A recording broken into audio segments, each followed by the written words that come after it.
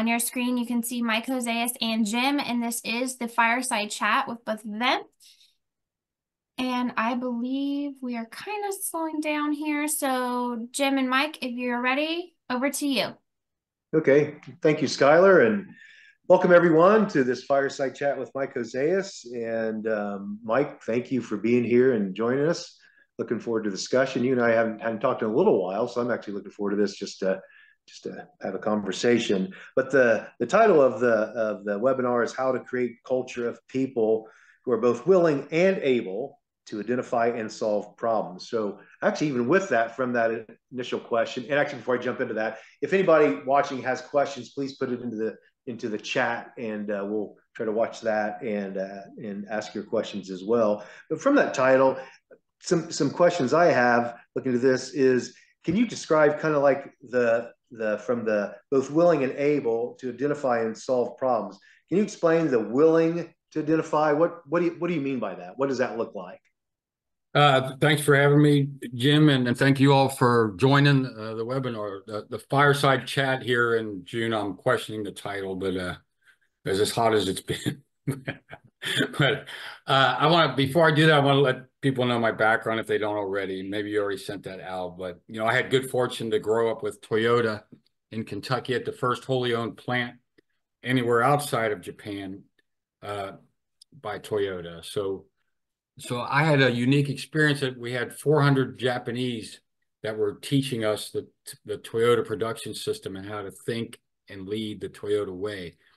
And, uh, you know, I had a, I had a, also opportunity to be a supervisor uh, and have a, a, a, Japanese coach, a manager, and an executive uh, in my 13 years there at Toyota. I also had a few years in, in human resources. So, so I learned firsthand so that, you know, the the experience I had is what I'm sharing with you uh, from what I taught that uh, was taught by the Japanese because it wasn't the way I normally thought about things. Um, and I'll, I'll give you some examples here in a quick amount of time we have today. And the willing and able. So, you know, and when I wrote the book Toyota Culture, so I also wrote that with Jeffrey Liker back in 2007. Uh, it was fortunate enough to win the Shingo Prize, and there's and it took me around the world, also meeting lots and lots of different companies, countries, industries that are all on this lean journey or this OpEx or CI or whatever we want to call it, right? Trying to get better. And uh, so, so I told Jim earlier, you know, that title, I could talk eight hours and I do talk eight hours and sometimes three days events on, on answering Jim's question here. Uh, because the Toyota production system is a problem identification and a problem solving system. Uh, now, when I first went to work there, the Japanese separated problem ID from problem solving, and I didn't understand that at first. I thought it was the same thing, and I learned it's it's really two different things. And um, and we we go we were going to talk about the Kentucky tour, but I'll mention it now because uh, you know we're, we're we have a Kentucky tour three day event going in October and we'll go to Toyota, we'll take a tour, and we'll have a few hours with TSSC, which is Toyota's uh, training department. And, they they've uh, they've defined TPS here recently, and and and they quoted for the group, and I'm going to quote it for you now because I really love it. Uh, it's basically TPS is a culture of highly engaged people that are identifying and solving problems to drive performance improvement. And and so so that again, that's a mouthful, but people that are identifying and solving problems that are driving performance improvement. And so if we can get people doing that, and, and the other thing about TPS, it's like, whose whose job is that? Is that just the the CI people or the managers or the engineers? No, of course, it's everybody's job. And so, so that's the first kind of key point in in my answer to your question is that we have to make an intentional culture and we have to make it so intentional culture means we're we're stating the desired behaviors so shingo defines the culture as the, the behaviors of your people and if the, if we don't have a desired behaviors defined then you don't have any intentional culture right you just have what's happening and leaders come and go you know i was asked that at a conference one time is toyota's culture intentional or accidental And of course, the answer was it's intentional. And I hope yours is. And if your current one isn't, then you need to make it intentional. And so I, I usually sum up Toyota's culture in just that. It's people who are identifying and solving problems, and then leaders who are coaching and teaching people to do the same, right? So, so I, I go to a lot of Gemba walks and I see a lot of firefighting, workarounds, band-aids. So, so the first thing we got to do, Jim, is state that we want people to solve problems. Like it's everybody's job to solve problems. Even if you look at NUMMI and you know Toyota's partnership with General Motors, that was a a big difference with this UAW contract. They said it's not just your job to do your job in the TPS, it's your job to do your job, of course, but then it's your job to improve your job. So, so the first thing you got to do is to, to where the willing and able is to, is to make it part of the role, is to make it the standard. Because as the Japanese would say, no standard, no problem.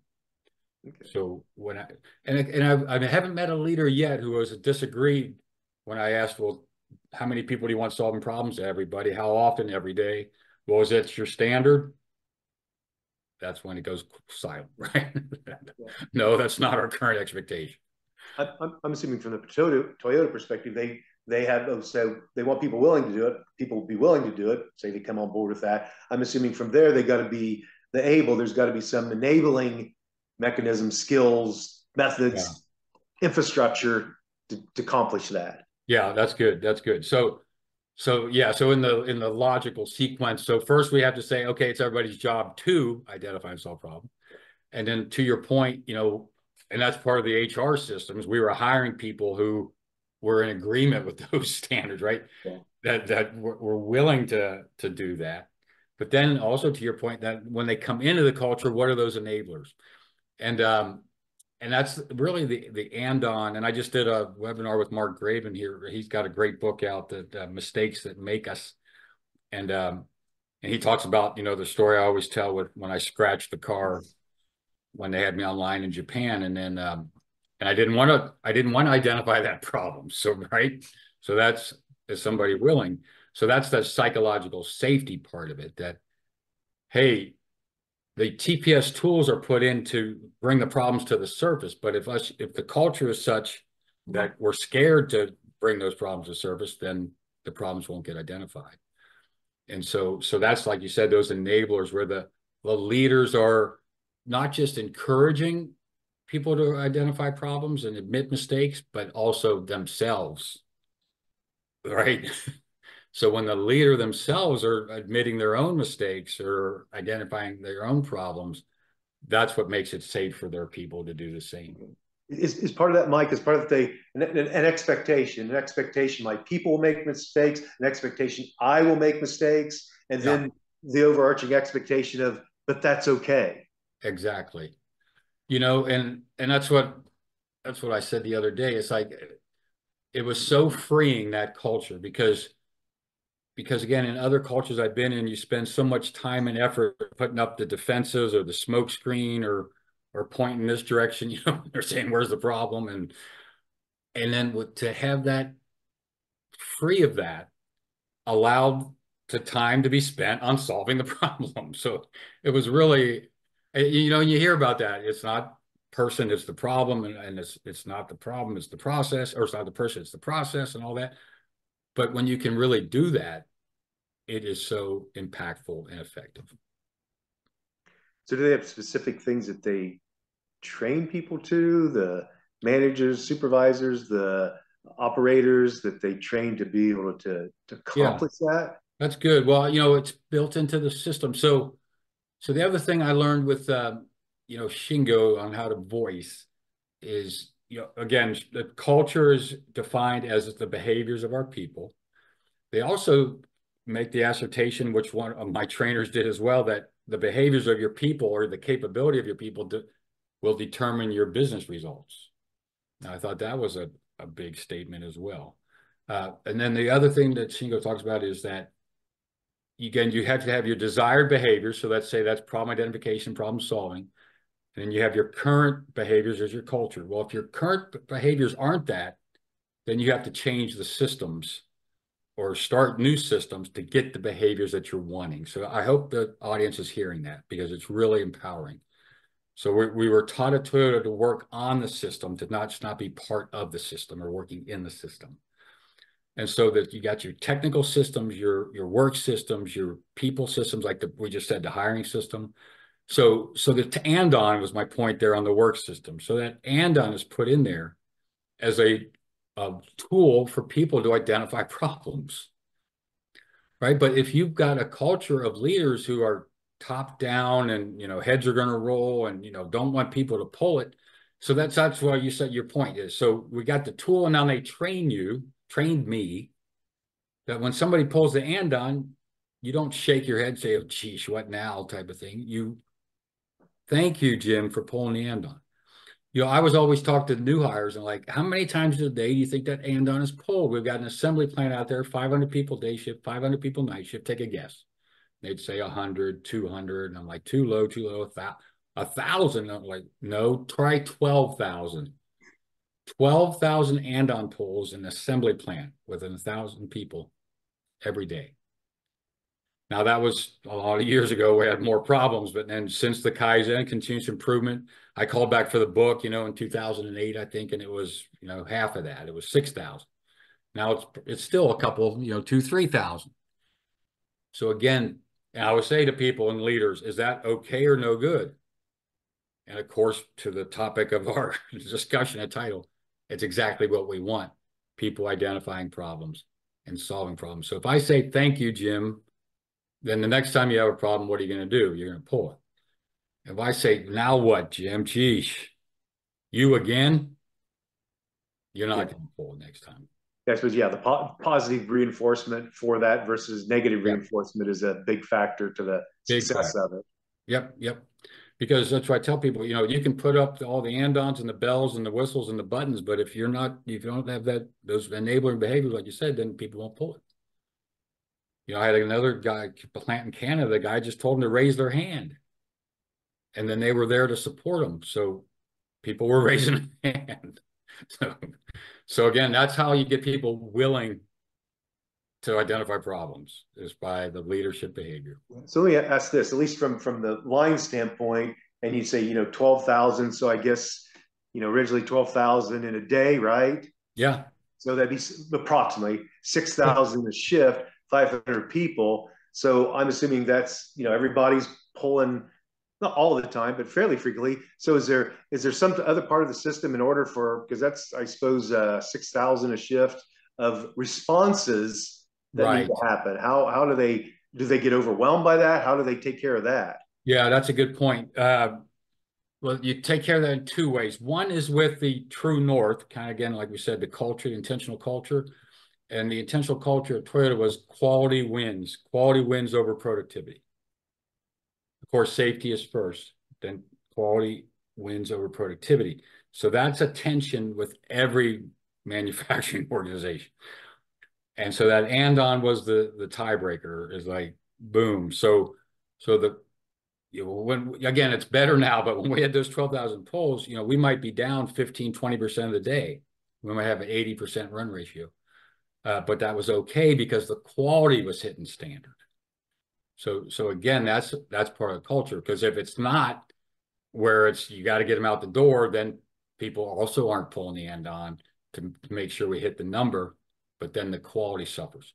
So at Toyota, the productivity suffered, the quality didn't. And if I hope that makes sense. Yeah, I'm assuming at some point in time they needed the you know whatever the time you're down needed to make improvements on less than that sure. amount of time sure. without compromising yeah um, um, quality. the quality yeah. but still needed to meet their whatever their output requirements are so how did they deal with that well we added overtime okay yeah yeah daily it was a daily it was a daily call after lunch on that overtime again so it wouldn't stress the system and so people were still enabled to pull the andon and get the quality first you know so a, with, so with that, with two shifts, I'm assuming there was a gap between shifts in order to give that buffer exactly. zone yep. if you need to do overtime. Exactly, exactly, and we would call the overtime a couple hours after lunch. So, so that's the way it worked. Now, now again, we got people identifying problems, and then to your point, now you got to start working on on solving them.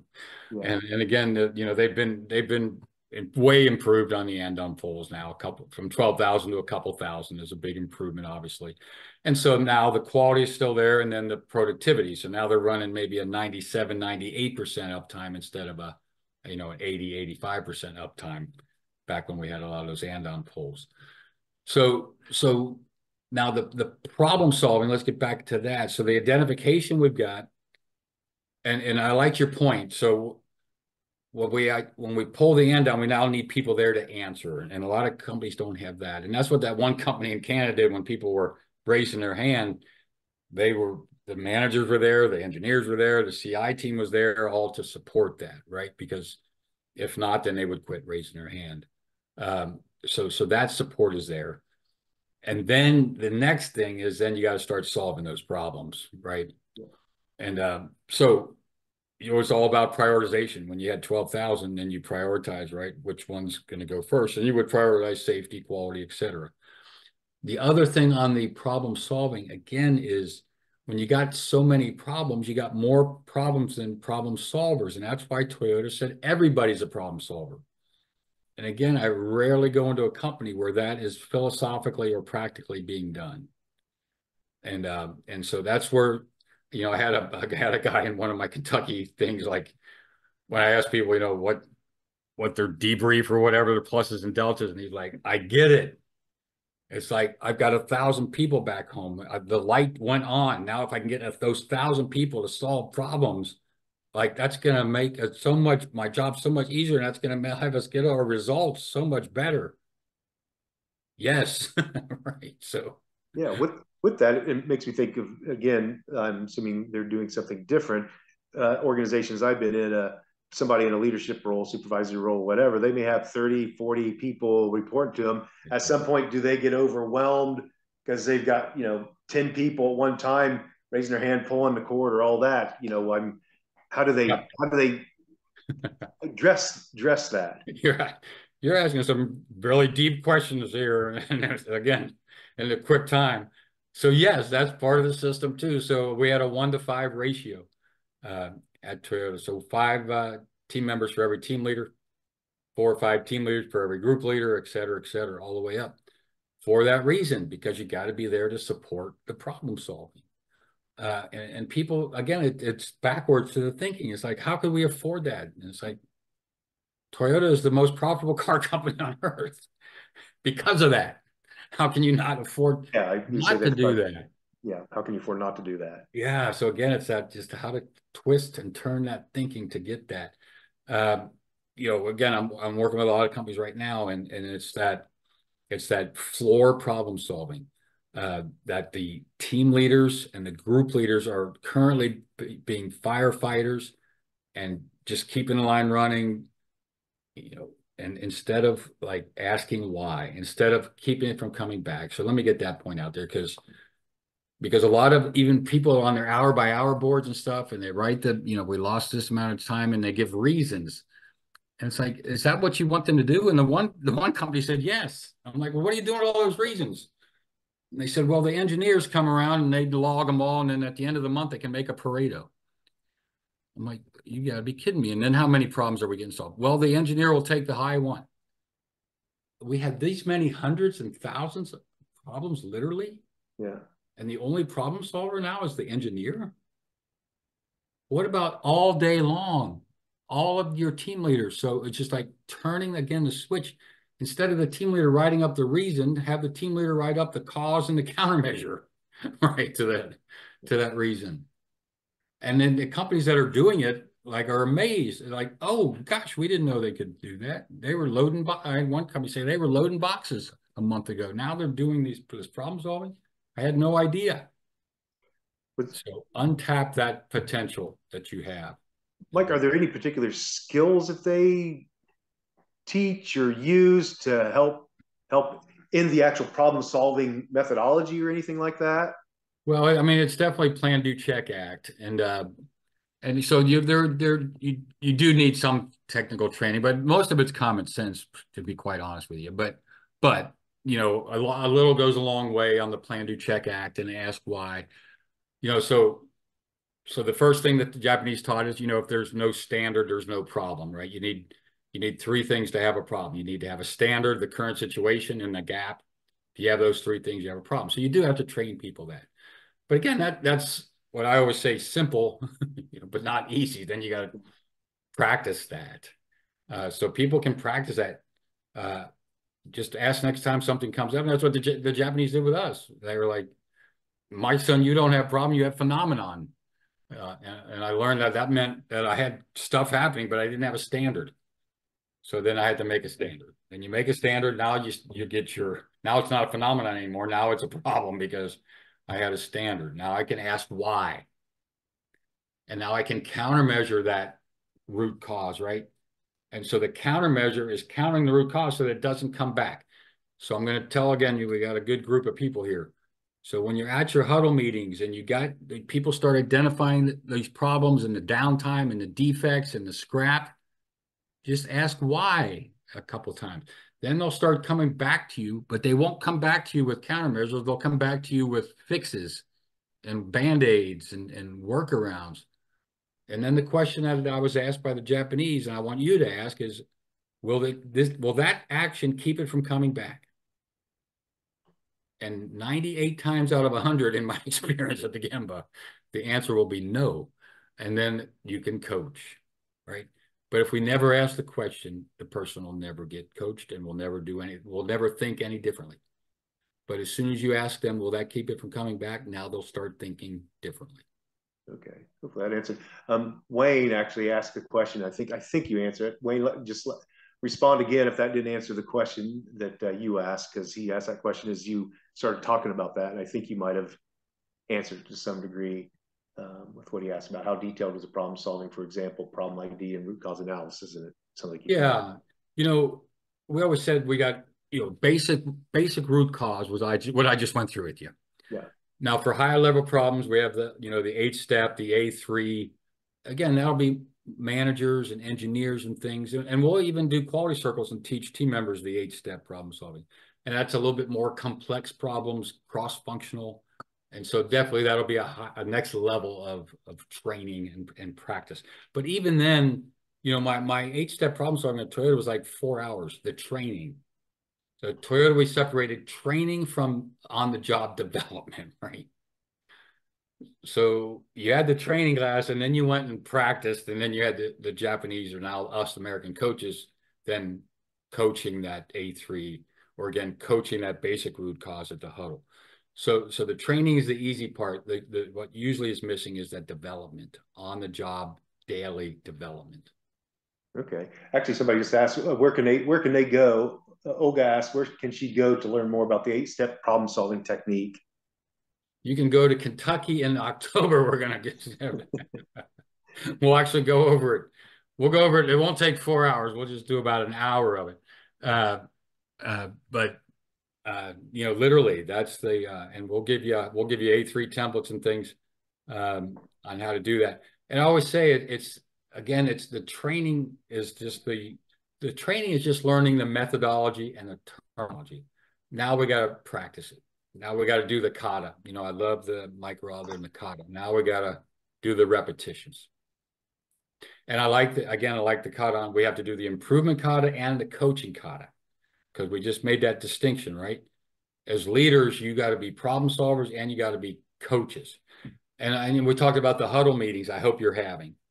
You know, we at, at Toyota, we went to at least two huddle meetings a day. One where I was, I was giving the problem to my coach and they were coaching me. And the other one where my folks are giving the problem to me and telling me what they're doing and I'm coaching them. So every day I'm coaching and I'm being coached. I had one trainer said, Can you teach on this hand or learn on this hand and teach on that hand?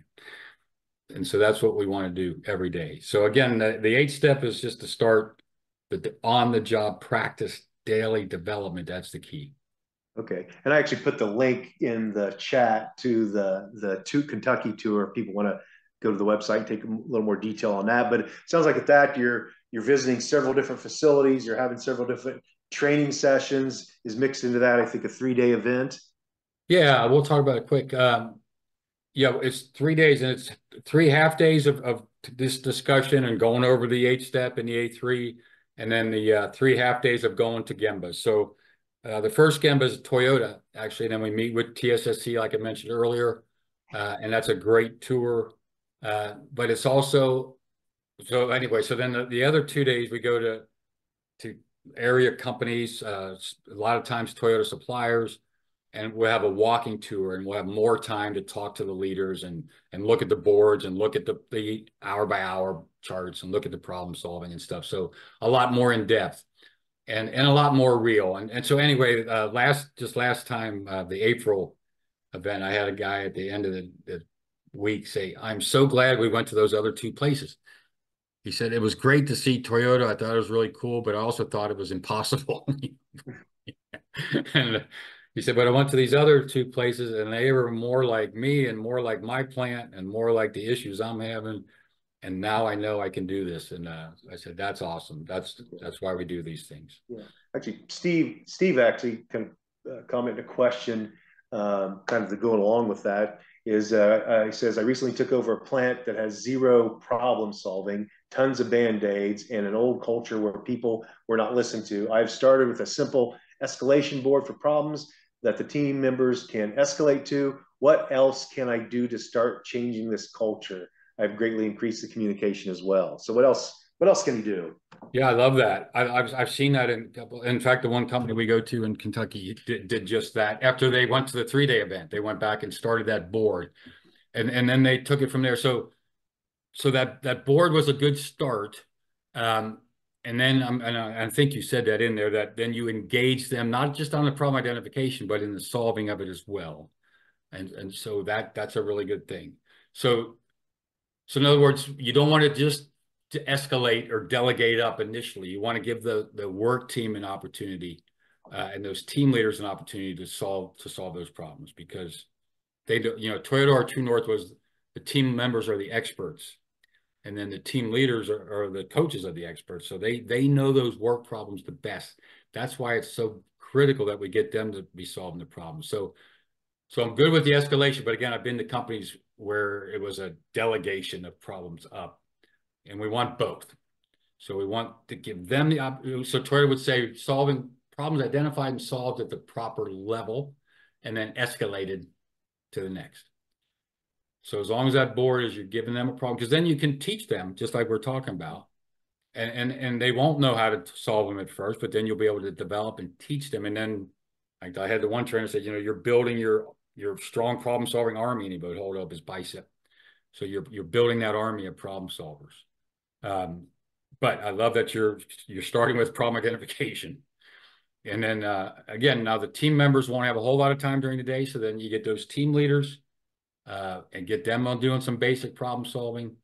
Uh, and then that's your first layer. And then, like you said, have that escalation up to where then the engineers, the managers are now are getting the those tougher ones. And then if you don't have a if you don't have a standard, I encourage that an A3, an 8D, a DMAIC, or an eight step like Toyota does, or something to that effect, with those more complicated problems. Okay, a couple more questions came in. I don't want to get to because we're getting real close to our target time. Uh, Courtney asked, did you, did your teams collect the data, or did did you just approach the problems as they occurred? Well, that's a really good question. That's that's a really good question. You know, it, we used to say at Toyota like the Andon was the living Pareto, and, and because I mean, I remember even being at my group leader desk and I'd see the same light go on and on and then it go on again. And it's like the living Pareto. There it is. So now I'm going to get up and I'm going to go. Uh, so, and, and, I remember I had one Japanese, like one of the, the head guys, like, you know, he didn't like any of the Pareto or any of the data, like just solve the problem. And, uh, but I've come to, I, I come to answer that question as both, both and, uh, you know, again, What's usually missing is that first one, real time, just go solve it. Um, so that's that's the one I would encourage you to work on. Uh, but what's also missing when we do our eight steps is you know is data, and um, so so you want that system there as well because just like we talked to you with the last guy, you know you you get that that first level with them putting it on the board and and knocking out, but then they won't be able to knock out everything the more complicated ones. So then you're getting the data then to escalate up, you know, to again to the engineer or to the, the manager. So so my answer to your question was both. And that'd be awesome. If you can get both of those going, you'll be way ahead of where most people are right now. Okay, well, good. Like I said, I knew the time would go by quick. One more question, I think is maybe a good uh, closing question here is uh, um, uh, someone asked, uh, for someone who's just beginning, uh, and I might be able to initially answer this question, but I'll let you answer as well, Mike. Um, for someone who is beginning, uh, where do you start learning these concepts? Is there any books you can recommend? Also, what what what are industry courses industry courses one can take? Well, certainly I can answer, at least initially, one you can answer too, is I know one book is Toyota Culture by you and Jeff Pfeiffer. That's certainly one that uh, has got a ton of learning around this, uh, the very, very things people are asking about what you're talking about. Yeah, yeah, yeah. Yeah, Toyota Way is a good book. Um, you know, LEI's got several good books, Jim Womack and things. So there's there's a lot of literature out there. Um, you know, I always tell, and we will end on this one. And again, I'll invite that person to Kentucky as well. Yeah. But um, you know, the Japanese gave us, I tell people three things. Again, I was a supervisor, group leader to start. They gave us standard work. Now I could talk another half hour on standard work, and I will in in in Kentucky. Like like we've we've got out there work instructions, engineering, technical instructions, and we want all those things. very rarely do I see true operator standard work. And that and that's there to for improvement, and it's not, and we don't have it. So anyway, they gave us standard work, a scoreboard for safety, quality, productivity, costs, and HRD, and problem solving. So it was like, start with your current best practice, keep score to identify where you're having problems, and then start your problem solving. And then when we, we do our problem solving, we get to root cause, we have learning, guess what? We update the standard work, we revise the standard work, and we retrain it, and we do the cycle all over again so so that would be my recommendation. Those three things is going to be a good starting point for you. Okay. All right. Well, like I said, we're just a tiny bit past our target time, and I knew this would just um, just go by really quick.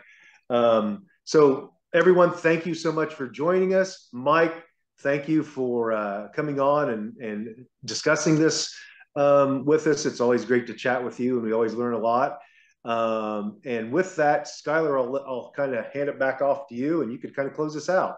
Awesome. Thank you, Mike and Jim. As a reminder, you will receive a link 24 to 48 hours from me to view the recording. Thank you for joining us. We'll see you all soon. Bye-bye. Thank you all. Bye.